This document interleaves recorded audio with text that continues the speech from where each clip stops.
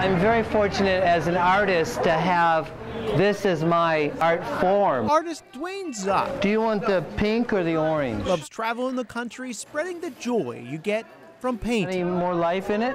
This week, Dwayne brings his project to Chimes, Delaware. Ooh, that'll be pretty. nonprofit agency helping people with disabilities engage more fully in life's opportunities. Stamp it, stamp it, stamp it, stamp it, stamp it, stamp it, stamp it. Okay, okay. art, music, dance is something they all are very passionate about, and it brings them to life. Look at you, you are a pro at this.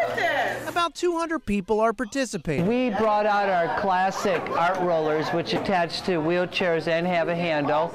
We have what we call our pogo paint poles, which are these spring-loaded stampers. Okay, you ready? We're gonna put some yellow on it. Dwayne created these tools after growing up in a foster home with individuals with disabilities. You know, if you want to have a fully inclusive arts experience, you have to create the means to make that happen. You can't use the standard off-the-shelf paintbrush. And I can remember giving my foster sister a ride in the red wagon to catch the bus because she couldn't get there fast enough with her crutches.